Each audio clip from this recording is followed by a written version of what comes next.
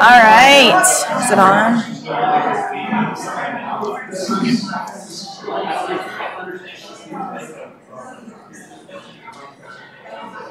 Okay. Are we all filtering in? You think go got critical mass? Yeah. All right. Excellent. Well, I hope you all had a good lunch and had a good continued conversation after our morning session. Thank you to the morning speakers and other panelists for, I think it's been a great conversation so far. I hope you feel as inspired as I do to take this information and do some stuff with it. So that's the plan. Whatever that stuff may be, we're going to figure that out this afternoon. Um, but before then, it is my honor to introduce our featured speaker for the day, Dr. Dionne Hoskins Brown. Dr. Hoskins Brown is a NOAA research fisheries biologist who was assigned by the National Marine Fisheries Service to develop a cooperative program at Savannah State University in 1999 with a Bachelor of Science in Marine Biology from SSU and a PhD in Marine Sciences from University of South Carolina. Me too, yay. Uh, she was the first SSU graduate to return with a doctorate and serve on the program's faculty. When she returned to SSU, her mission was to educate and train the next generation of marine scientists. She's done this by administering NOAA-funded student research training programs while researching essential fisheries habitat like salt marsh and oyster reefs and import, important commercial species like white shrimp and blue crabs. Her leadership has positioned the SSU Marine Science Program as the leading program in the country for graduating African American marine scientists. Her long-term research on fish habitat and passion for African American history on the coast led her to document the stories of Gullah Geechee fishing families in Georgia, resulting in the African American Fisherman Oral History Project. This work led to her appointment on the Gullah Geechee Cultural Heritage Corridor Commission, where she currently serves as the chairperson. Her dedication to youth led her to start the SSU Coast Camp, a month long half day camp to teach ocean literacy to youth aged 7 to 18 years old. In addition, she currently serves as the chair of the Accountability Committee and the vice president of the Savannah Chatham County Board of Public Education. She's received multiple honors for her mentoring and leadership roles, including the Emmeline Moore Prize in 2016, an honor bestowed by the American Fisheries Society uh, for distinguished efforts to increase diversity in fisheries. She continues to be active in the Savannah community through her volunteer work and service on boards related to marine education and environmental leadership. Uh, today she'll speak to us on the intersection of nature and culture in the Gullah Geechee Cultural Heritage Corridor. I will say that we actually abbreviated this bio a little bit. Uh, she's amazing. The full bio is on our website if you would like to learn even more about her. Um, but now I'll turn on the floor over to you. Thank you. Thanks so much, Lynn. Yeah. Really appreciate it. Thank you. Wow, I haven't said a word yet. And you know when you get a when you get an, um, an introduction like that, I'm like, oh, I wish my mom was here. She loves hearing that stuff. Moms love that. Um, I am very, very happy to be here on multiple levels. Um, one, because uh, we're, we're talking about something and we're trying to do something that integrates uh, the different thoughts that I have in my head. Um, and, and also because I've recently started working with the Nature Conservancy uh, in Georgia. In fact, this is a Nature Conservancy week yesterday. Uh, we were at a field site uh, in Darien, Georgia, looking at a culvert that is used a lot uh, for kayaking and trying to find ways to improve that and work with private partners. So yesterday I had on like bug clothes and was there, and today I'm here supporting TNC in, a, in another way, and I'm very, very, very um, grateful. So what I'm going to talk about today is going to be kind of the manifestation of a conversation I've been having with myself in my head. So I'm very hopeful that it makes sense to you all because it sounds good to me. Okay. So I'm hoping that it will be informative and I also want to bring some examples of some of the things that I've participated in in the past that I think inform what you're trying to accomplish today. I'm going to start with some background on the Gullah Geechee Cultural Heritage Corridor. And uh, for some of you, this may be complete review. For some, it may be um, brand new information. But the corridor is a national heritage area under the Park Service, uh, and it was created under a congressional mandate, and it recognizes the unique culture of Gullah Geechee people, those individuals who resided in the coastal areas between Wilmington, North Carolina, and St. Augustine, Florida. So this is a timeline from no corridor to a corridor until 2037. Uh, it started as, a, as an idea, and it was first mentioned in an Appropriations Act in 2000. Our cheerleader for this effort has been uh, Representative James Clyburn, uh, and this was something that he was seeking to accomplish for a very long time. And so the first thing before you get a national heritage area is you have to perform a study to find out should there be a national heritage area.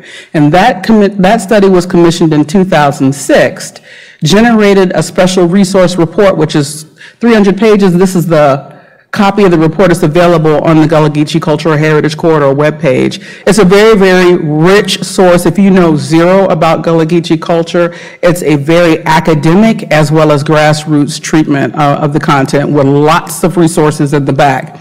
So that was used to substantiate the need for a national heritage area. Uh, it then was approved with the, with the Gullah Geechee Cultural Heritage Act which then necessitated a management plan um, that I'll mention a little bit later. It was renewed in 2016. It was resubmitted and approved for reauthorization just this year and has been extended to uh, 2037. And what you'll see is there's been a change in how Gullah Geechee has been written in the act. Now it is it's no longer in the management plan. The slash was removed, and this was prior to me joining the commission. The slash often means either or. And so they changed it, the, the, previous commission, to hyphenated to be inclusive. And then they decided that it was really more contiguous in 2012. So you'll see the commission writing it in that way. so Gullah or Geechee? Anyone recognize this book cover I see, I see one hand. This is the book cover of God, Dr. Buzzard, and the Bolito Man. It was written by Ms. Cornelia Walker Bailey. Absolutely extraordinarily woman, extraordinary woman. We lost her a few years ago. And she talked about growing up on Sapelo Island, Georgia, uh, and there she referred to herself as Geechee. And in this quote, she's saying how they just thought the people who spoke Gullah talked too slow. Um, and that was the distinction that they made uh, between the two. I'll refer to this, this, her book again for some other essential information that's relevant to how Gullah Geechee people intersect with nature. In terms of the use of Gullah or Geechee, academics are not completely in agreement for where those terms come from.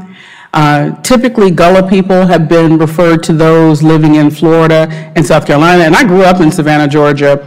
I had no knowledge of this. And when I was growing up, everybody was Geechee or not Geechee. Um, and Geechee was North Carolina and Georgia. Um, I didn't realize that it jumped South Carolina.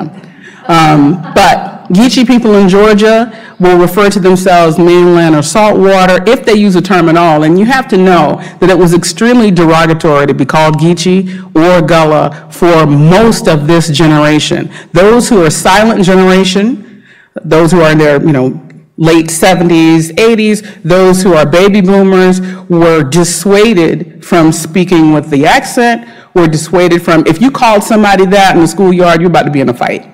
So this identity, this, this cultural pride around these terms is, uh, pretty, is relatively contemporary. And if you want to hear more description of that, you can hear Cornelia Walker Bailey's description of growing up on Sapelo, or if you've not read uh, Supreme Court Justice Clarence Thomas's autobiography, My Grandfather's Son, you'll hear how he talks about um, going to Catholic school and having uh, the, having the um, accent highly dissuaded. So in some circumstances, the term Geechee has been used as a blanket term to describe people in the low country. Let's just say that Gullah Geechee culture was created when you had this amalgam of people coming from different places in Africa being dumped in one place to work together, to convene together, to live together, but who had different practices, traditions, religious, and cultural beliefs. And it is that creolization of culture that created Gullah Geechee culture. So the idea of Gullah Geechee um, as its own language, um, raise your hand if you've heard of Lorenzo Dow Turner. Awesome. This is going to be great then. I'm sharing all kinds of new stuff. So Lorenzo Dow Turner was a professor who taught summer courses at South Carolina State in Orangeburg. Um, and he was teaching the summer course one year and noticed a distinct accent in students who were from the South Carolina Low Country. Um, he didn't, he understood it, and he also understood that this accent was not affecting their, um, their, um, their schoolwork. They were extraordinary students. They knew exactly what they were doing. They were high performers, but they spoke in this different dialect that he didn't recognize and that appeared to be broken. And so he kind of went to the kids and said, hey, you know, where are you from? You know, and as he learned where they were from, he started going to those communities and asking questions and learning more about the language. He moved to Georgia for 14 months and recorded voices and families in coastal Georgia, most notably uh, Harris Neck, Georgia, uh, where the first recording of Amelia Dawley was later connected to the Mende culture uh, in Africa um, through a um, baby's lullaby that Amelia Dawley sang to her uh, daughter, granddaughter, Mary Moran. So none of this was known when he was doing his work. So after he did his field studies in coastal Georgia, Georgia and South Carolina, he continued to do work in coastal Africa and wrote the book that he called Africanisms in Gullah Dialect. And through that work, what he showed was that you cannot account for the origins of the Gullah dialect without accounting for the languages of the enslaved who came from Africa. So that is the quick overview of Gullah Geechee culture for those who may be um, unaware. I want to opine that Gullah Geechee culture is nature-based, and I'm going to make a series of statements like this that I plan to support. So this is the conversation I've been having in my head is that all these things are true, and these are the things that make me think it, and I want you to also agree with me. So, toward nature-based solutions, we should acknowledge a Gullah Geechee legacy that embraced nature for self-care. This is the woolly mullein, and this is a plant that Ms. Walker Bailey referred to in her autobiography as one that would be used to soothe pain um, as a poultice. And she, when she referred to what we now call local ecological knowledge, they used to call traditional ecological knowledge, but traditional ecological knowledge, I used it once and an anthropologist kind of smacked my hand and said, stop that, don't say that. Because traditional makes it sound static. Like it never changed and something that you believe in that you don't change. Local means I'm on the ground and I know this stuff and my literacy may be evolving as I'm in this place. And so I was told, don't use that. So I'm just take that you get, it's, it's what you paid for. It's worth what you paid for.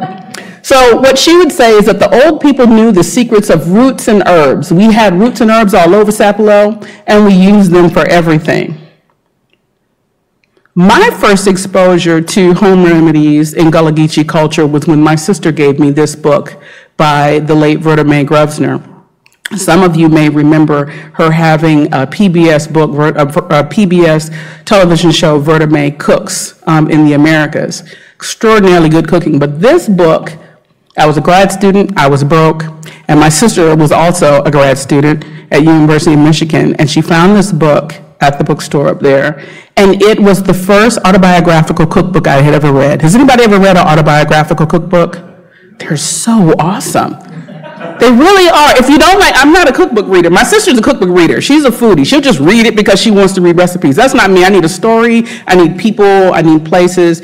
And in this particular book, it really is what she's saying. It's, it's travel notes of a Geechee girl. And she talks about on Wednesdays, we used to do laundry, and my grandmother would make lye soap. And then right there in the narrative would be the recipe and the instructions for lye soap.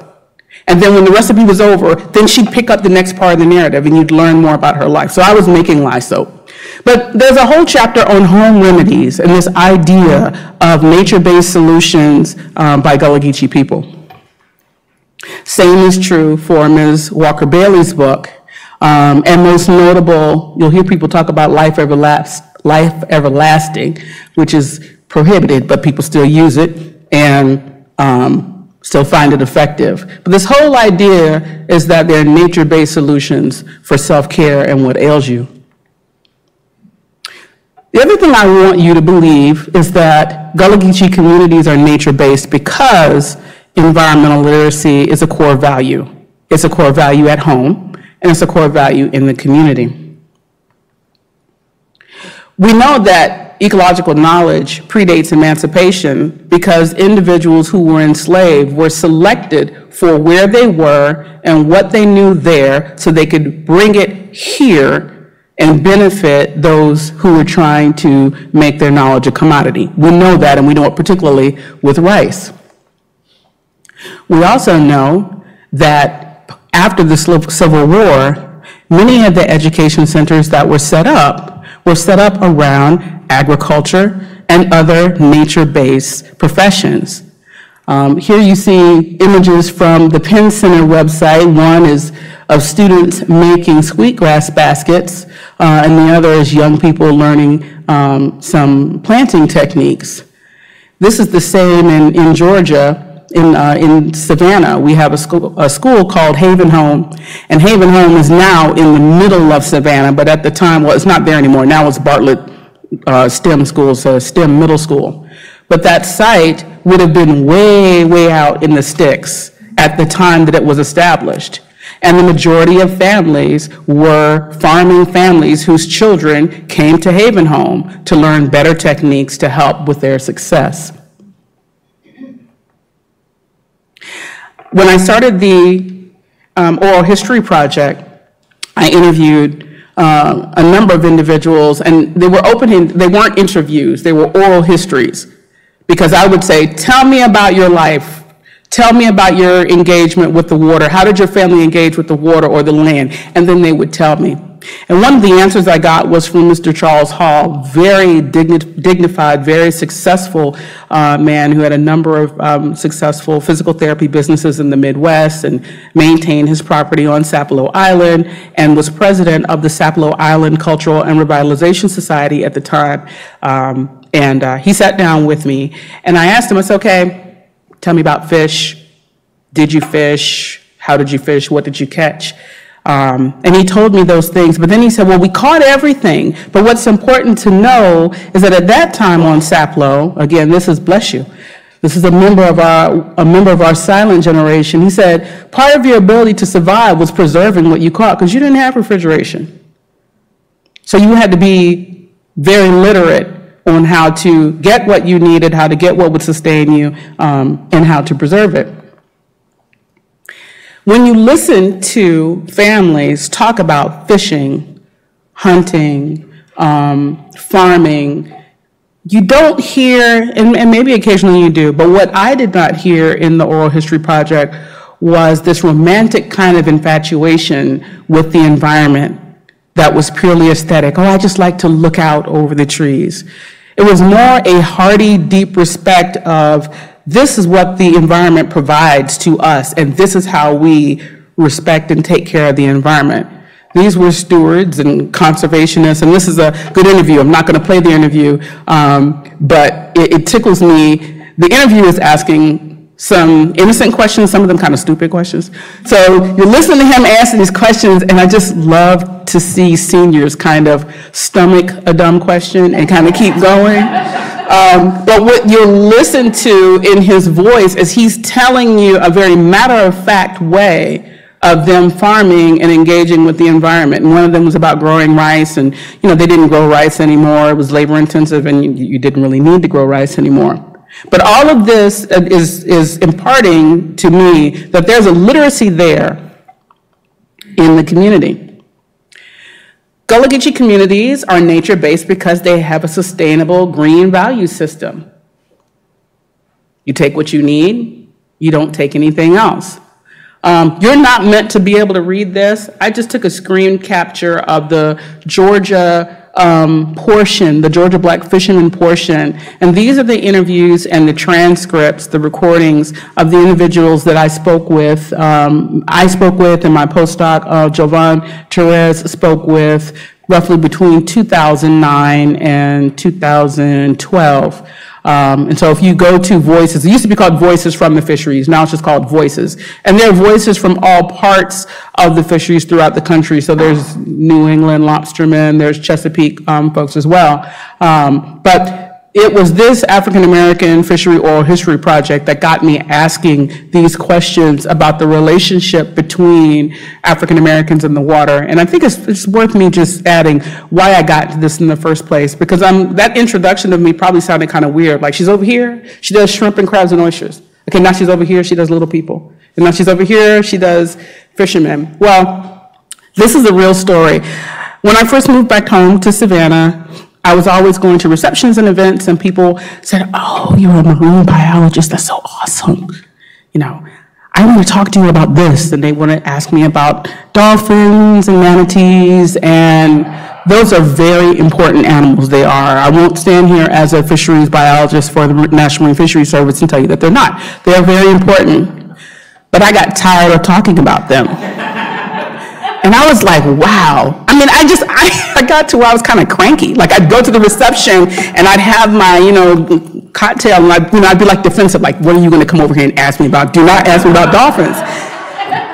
And I said, okay, you really need to be more compassionate and more proactive.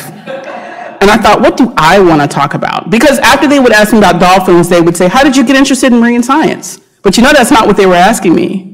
They were asking, how did you get interested in marine science? And I was like, okay, now I've got to talk about being black and marine science. And I said, okay, I know what I want to talk about. I want to talk about the fact that black people have been doing marine science for a very long time and you just don't know it.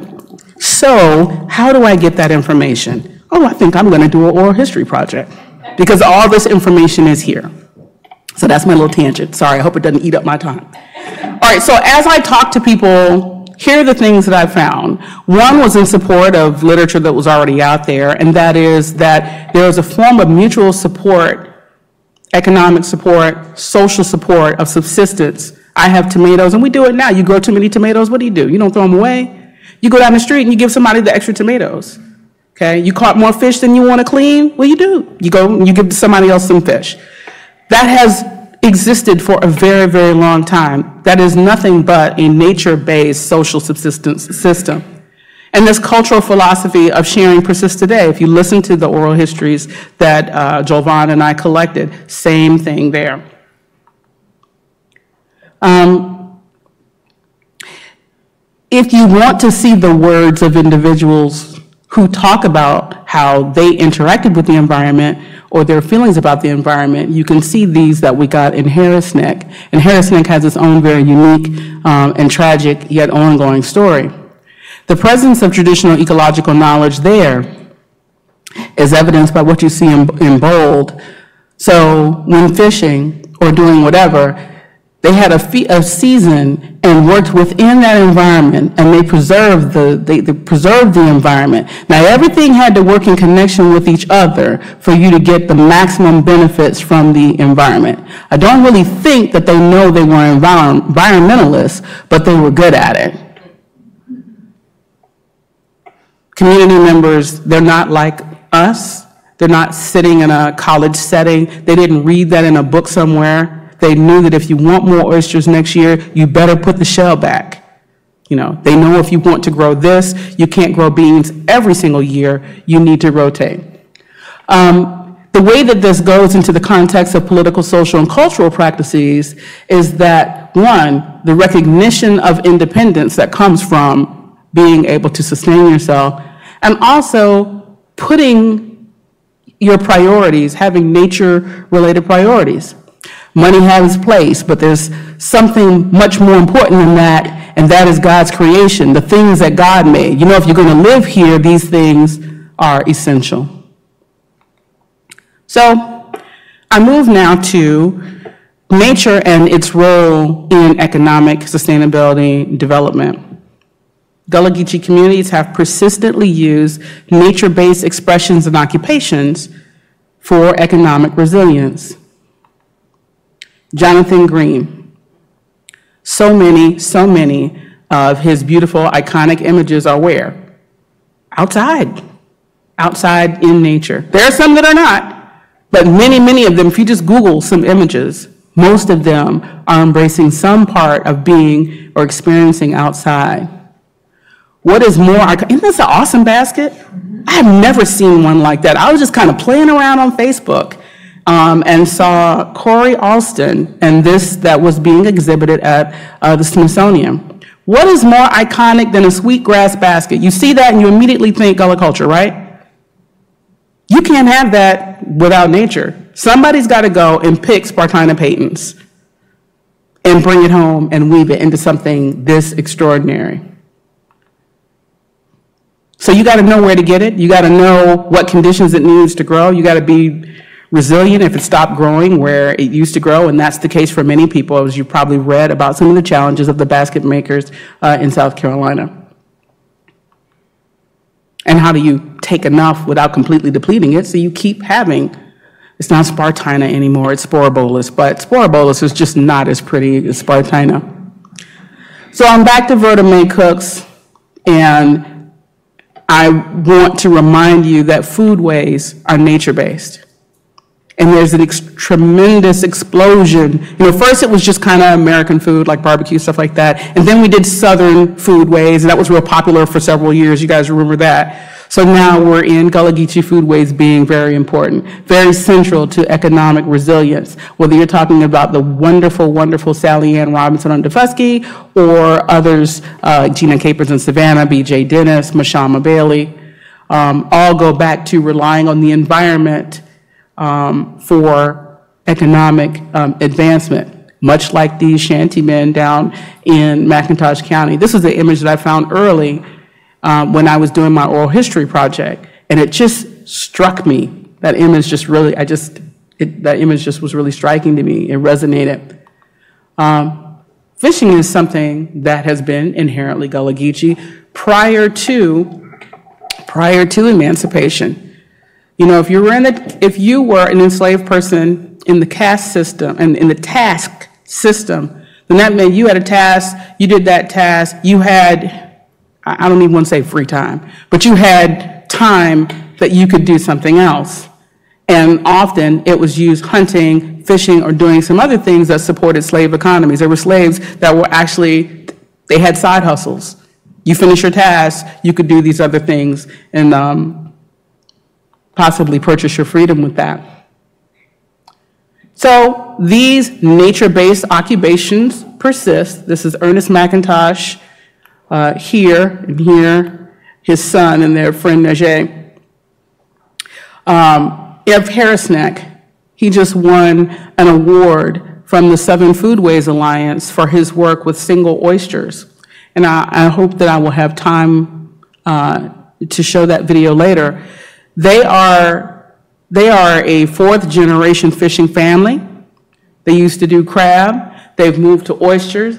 And they do single oysters because when we go to a fancy restaurant and we're paying a whole lot of money for an oyster, we don't want to get cut and we don't want to fight with it. So there's a huge market in that. And so their family business has made a pivot and they're doing really, really well. And if you haven't had a Harris Neck oyster, it's extraordinary. Now, he is working with Mashama Bailey at The Gray, who won a James Beard Award for her menu uh, at, at, at her restaurant. She's now partner uh, with her friend there. Um, but again, Gullah Geechee Foodways in fine dining being recognized at a high level.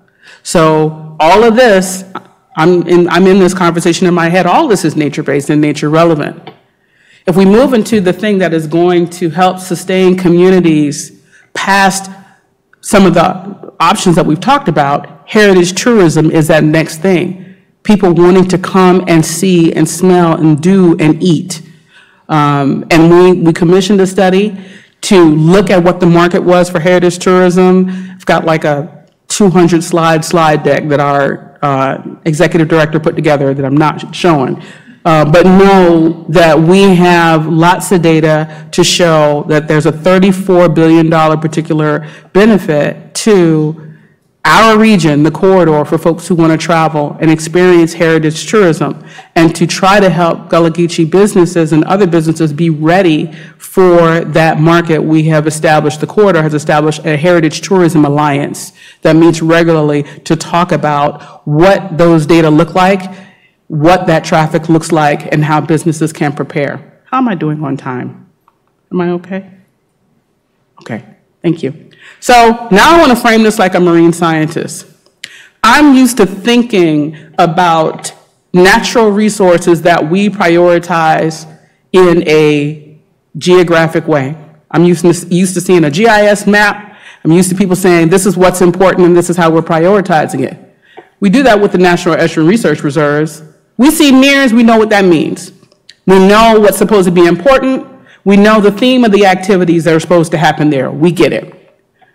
LTER site. Somebody tells you this is an LTER site, you immediately know what's important, you know how it's been funded, you have a frame of reference for what the priority is supposed to be there. And even the same thing with the Fishery Management Council. You know who is supposed to be making sure that you're not catching crab when you're not supposed to be, or that whatever is needed to manage the snapper grouper complex down here takes place. We have a geographical re reference for this. I want to say this. What if we took what we know and we prioritize an added layer of the Gullah Geechee Cultural Heritage Corridor the way we prioritize the LTER, the NERR, and everything else? What if we took that same outline and said, okay, we know this falls across several LTERs. We know that there are several NERRs around here. What if we did not separate the human dimension from what we're looking at? And I show you this slide. It's a lot of the same information that you saw on the other ones, um, but this is to show you the actual outline of the area 30 miles inland. So again, I think we can do this. I think we can combine our perception or, or at least uh, desegregate how we perceive um, that information. If we did that, we would potentially avoid the consequences of what we saw in Harris Neck when decisions are made about areas and communities and resources without engaging stakeholders. Raise your hand if you know the, Harris, the story of Harris Neck, Georgia. I know Emily. It's good to see a friend in the back, Emily. Emily and I used to work together at Savannah State. But basically what happened is there was some war activity off the coast of Georgia and the federal government said, oh no, we can't have this. We have to arm ourselves nearby. We need an airfield. And there were lots of other areas that were perceived to be eligible to receive an airfield, but they looked at Harris Neck and said, let's dismantle this Gullah Geechee community. It was a fishing community. We're going to put it right here. And it was marshland, so guess what? Wasn't a good idea for an airfield, was it? So then the government gave it back to the county, and the county was like, yeah, and then they did whatever with it, and the government said, no, you're not really using that well, we're going to take it back. And it ended up being in the Park Service. And the families did not receive their land back, and they did not receive fair compensation, although there's documentation that says that some families did. Some families are saying, how do you have a bill of sale that you compensated me for my land when I still have a deed? If I have a deed, you didn't buy it from me. So there's all kinds of stuff going on there. Um, and what one of the one of the uh, descendants has said is that the way they found out is that the Secretary of Interior, there's the Harris Neck Wildlife Refuge there. Secretary of Interior came down because the refuge was established to encourage the wood stork um, to grow those populations, and the populations had hit a critical number. So it was supposed to be a feel-good story. This is going to be great. Secretary of Interior is going to come down, and this environmental uh, victory is going to be shown. And when she got there, there were people there with signs protesting, saying, "We want our land back," and she was gobsmacked. It was not. It was not a good scene. And so the conversation started about, okay, how did this happen? That doesn't happen, well, one, that, that doesn't happen when you have stakeholders at the table and stakeholders are fully involved in processes. Um, but it's not that far in our past. So I think that there are things that work towards solutions, and I've got three suggestions based on what I've shown you and a little bit of my experience. And one is work with communities at all levels because there are lots of folks who are doing really extraordinary things. And there's probably someone working in an area or in a way that connects with you. Some of the work that's been done, particularly uh, in water topics, um, has been done by the Gullah Geechee Nation. This is a, a flyer for a conference in 2015. Um, my postdoc did a presentation there, and after that conference, they had an oyster restoration project, and people put out oyster shell. They have a ocean action plan that promotes habitat restoration. There are other partners nearby. I have to put a shameless plug in for my grad students. So here's my grad students. There's Tiffany and Shanice, and well, Tiffany's finished, and Cameron and Shanice are finishing. Um, they're doing oyster, and these are um, for, two former postdocs. Um, we're doing oyster restoration. Um, we're doing it with traditional methods, and we're also using a um, biodegradable uh, uh, uh, material called oyster, oyster catchers, kind of like jute in, uh, impregnated with jute, and it attracts spat very easily. And we've built several um, sites down near Brunswick uh, and uh, near Savannah. Well, there are HBCUs. We always talk about marginalized communities. We're not always defining what we mean by marginalized. Sometimes it's race, sometimes it's economic, sometimes it's rural. Um, but there are scientists at HBCUs who are doing things that are relevant to what um, many of our goals may be. So I invite you to dig a little deeper into your network of your into your network, your academic network. When you mean academic, when people say academic partner, expand what you mean by academic partners. Um, South Carolina DNR uh, has a project, uh, a planting project in Maryville. Does anybody know who Maryville was named for? some trivia. Do you want to share or you want me to tell? okay, has, raise your hand if you've heard of Ernest Everett Just. Okay, more hands. Ernest Everett Just was the first black marine biologist. He didn't call himself a marine biologist. He was an embryologist who did his research at the Marine Biological Laboratory in Woods Hole. He's from Charleston. His mama was named Mary. His mama was feisty. And she moved out of Charleston along with some other folks, and established an independent community called Maryville. This is where this project is located. So there's community activism goes way back. There are institutions like the Penn Center that have had land preservation programs that could be connected to. Um, on Sapelo Island, this is Maurice Bailey. Maurice is Cornelia Walker Bailey's son they wrote a grant and developed an organization to help families pay back taxes.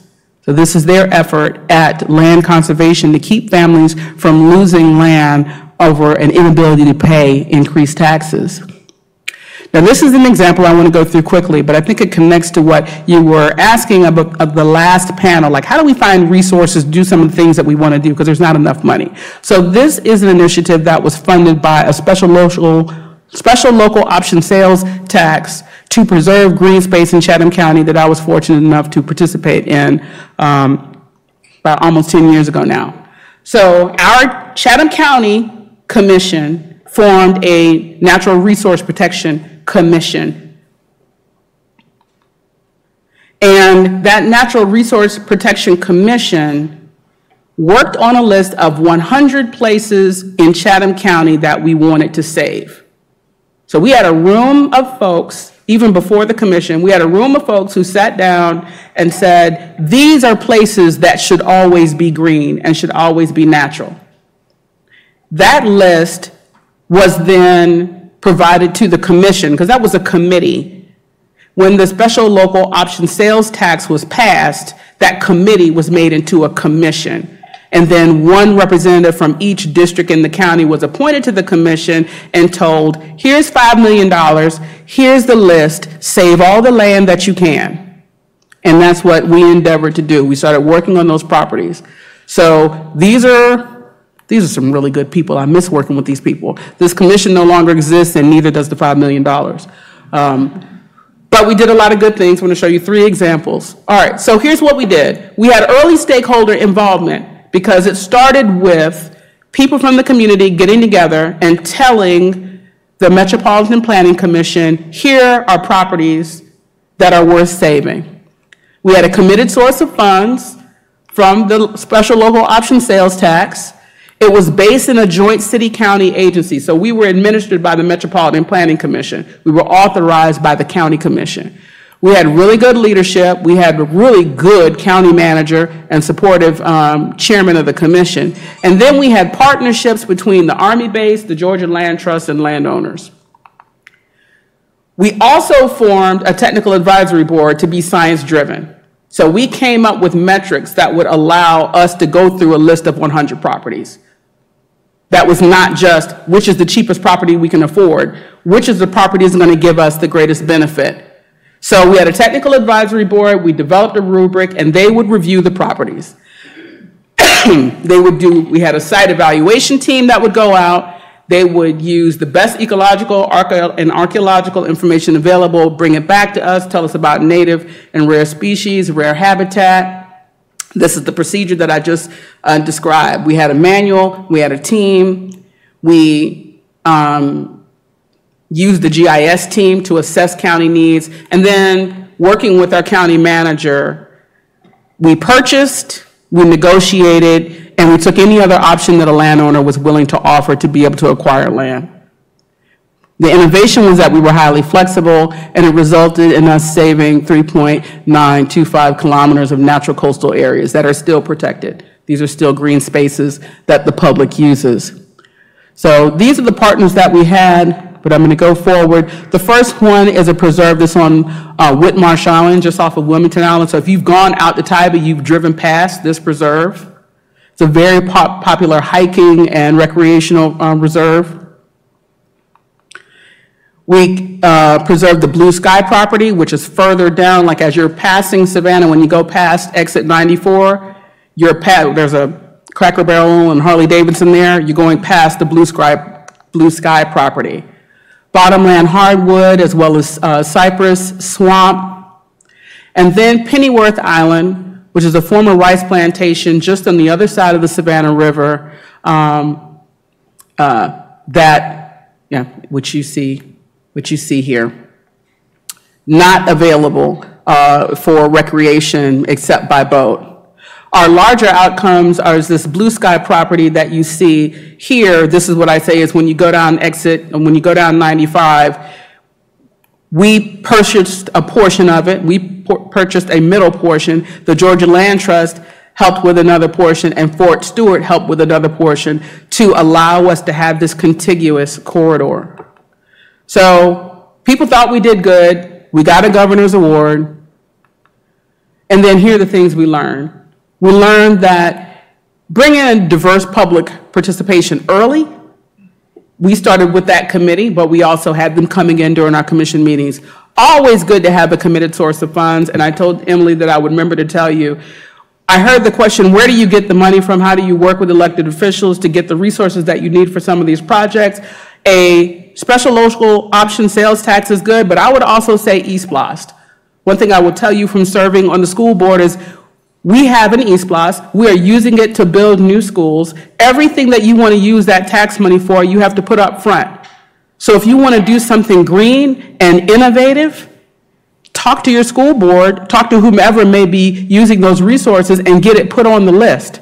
Because those two pennies that are coming in, we're not paying that as a community. It's the tourists who come and tromp down our streets that are paying for those new schools and who can be paying for a LEED design building or land conservation or whatever it is that you may be trying to do. Have a science-based process. I don't have to tell this group that. Be flexible, creative, and look for partnerships everywhere you go.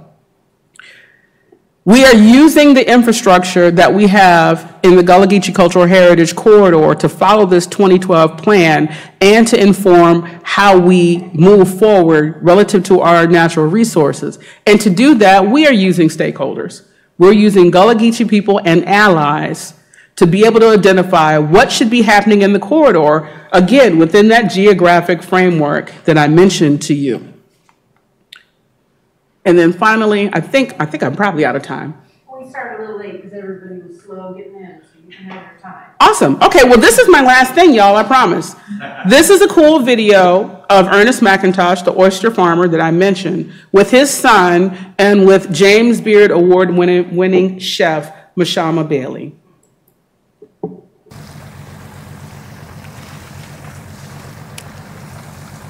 Well, I started working on the water in 1976. Had quite a few crab boats in the family. I started crabbing and working along with my father. Then I started looking at the crabbing industry, the way it's going. And my son was real interested in what wanted to do. And I said, well, you got to have a future, you know. Y'all ready? I can't see a future into crabbing. Show us the marshes. but I could see it into oysters.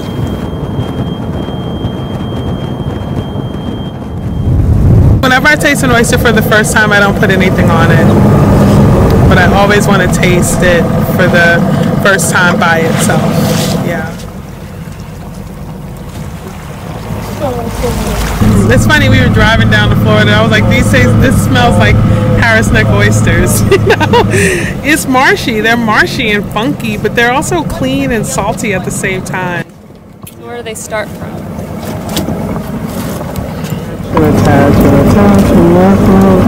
What we normally look for is downhill.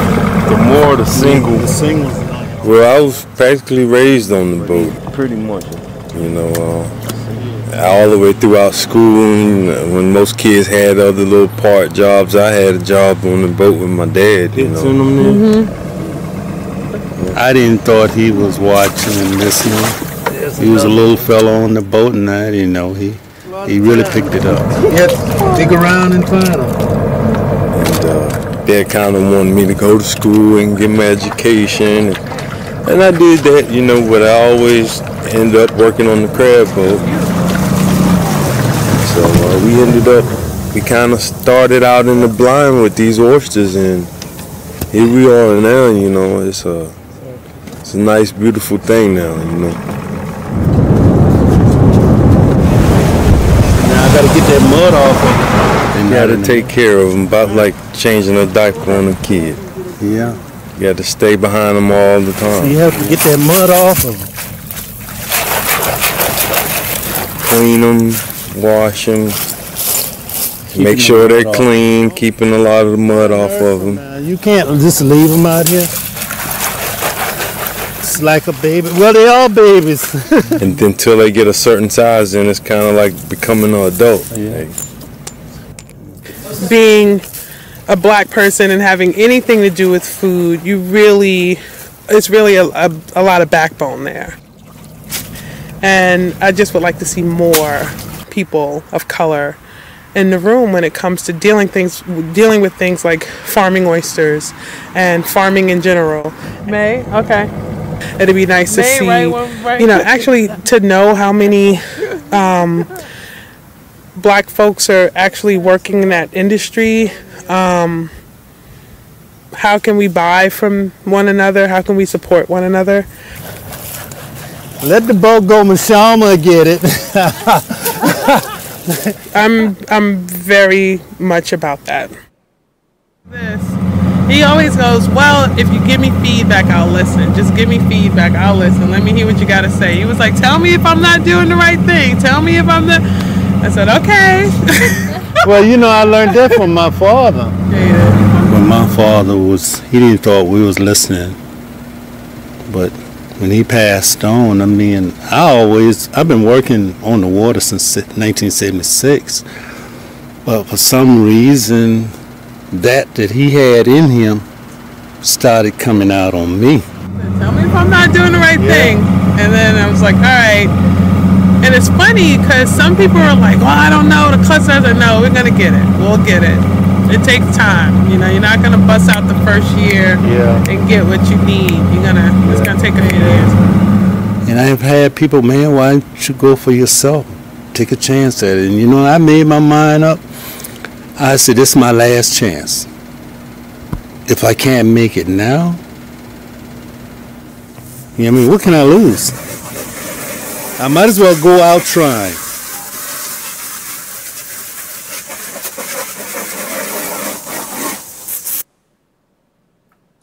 Thank you.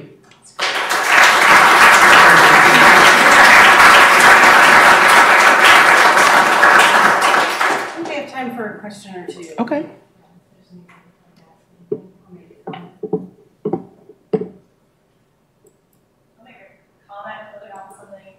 I appreciate you bringing up um, the HBCUs and the South Carolina Symposium last week. The um, the keynote speaker there, Dr. Claudia Benitez Nelson. Oh, I love Claudia, yeah. She talked about how, how it's so important to make sure that oftentimes, uh, I keep saying the acronym wrong, HBCUs are kind of used as like the outreach Yeah. application, rather than being a full-fledged technical, you know, data science partner or whatever. Nobody thinks we do research. That's really the problem. And Yeah. then need to be compensated for that as well. So just a really important point, and I to put on what you say to make sure that the, the engagement with academic partners um, is full on and not just like the outreach on. Thank you. I really appreciate that. And I'll also add the other community that folks don't think about is the community of color of privilege. You know, all communities of color are not low wealth. We, we, we often gear our outreach and activities to low wealth communities. But I know some well heeled parents that want things for their young people to do, and they can choose anything. Um, and there are organizations and communities that are stratified around interests as well as religion and, and economic uh, footing, just as there are in, in any other community. Um, and so uh, it, it is true that we have serious challenges with our public education in this region, here in this state and across the border in our state. And so a lot of times you do need to target young people with deficiencies in mind. But there are also communities of color that have every resource and have every choice um, and, and can be very good partners if you know how to communicate with them. Diversity is so much broader than what we, what we see in people. Yes. Um, I'm very interested in Gullah Geechee Her- Um, along with the the plan, the management plan, um, is, are there sources of funding that would go directly to entrepreneurs, particularly African American, who have Gullah heritage, uh, that would get, provide foundation money for them to start, uh, e- uh, eco, start businesses, or tourism, or things that, that, um, with the culture can be taught as well as the program. Sure. So we have about, our annual budget this year is a million, and 500 of that comes from the Park Service, and five hundred of that is from foundations.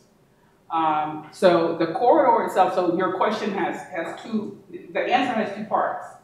There are foundations that give us extraordinarily good support. The Hyde Foundation has been wonderful to us this year. The Donnelley Foundation is extremely supportive repeatedly. They've been a partner um, for quite some time. And in fact, they funded the Heritage Tourism Study. They've done a lot to point us in the directions that allow us to know where we're going to be able to foster economic development. Because cultural preservation, economic development is cultural preservation. If people can pay their rent, send their kids to a good school and eat, or pay their mortgage and taxes, they can preserve their own culture.